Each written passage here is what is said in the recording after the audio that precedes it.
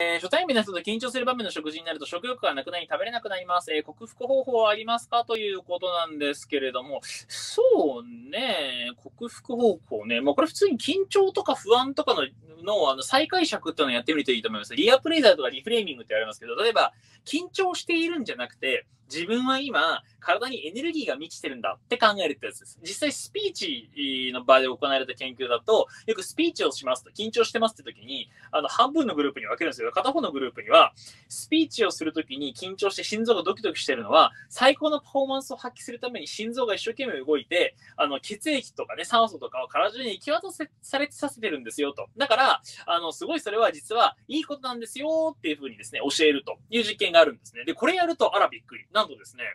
スピーチのレあの質が上がるんですよ。かえって。緊張してない時よりも。だから、これは全身にエネルギーが送られてるんだっていうふうに再解釈するのがいいんじゃないかなと思います。はい。